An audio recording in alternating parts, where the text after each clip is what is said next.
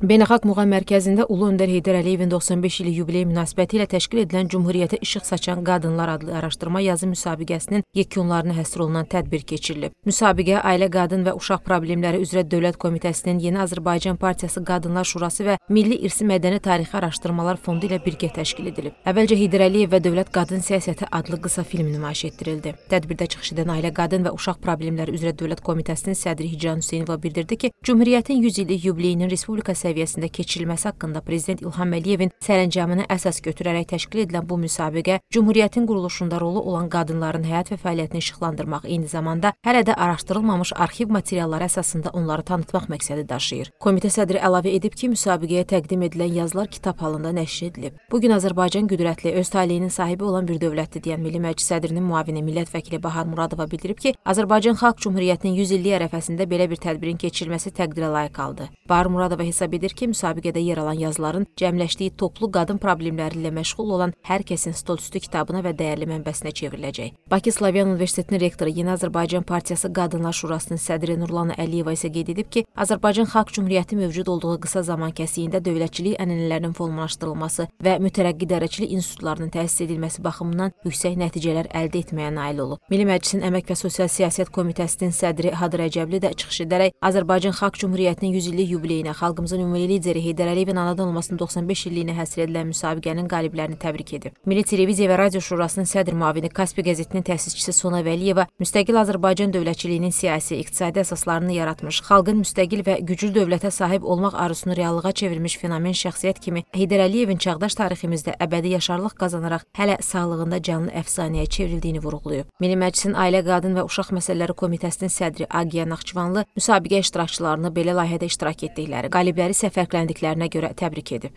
Digər çıxış edənlər də müsabiqənin əhəmiyyətini vurğulayıblar. Müsabiqənin yazılarının toplandığı nəşri tarixi mənbə adlandırıblar. Qeyd edək ki, ümumilikdə müsabiqəyə 98 nəfər qatılıb ki, bunlardan da 67 yazı toplu şəklində nəşr edilib. Sonda qaliblərə mükafatlar və hədiyyələr təqdim olundu. Daha sonra tədbir bədii hissə ilə davam etdi. Xəyalə Məmmədova, Şakir Qurbanov, Əfqan Poladlı, Azərtac.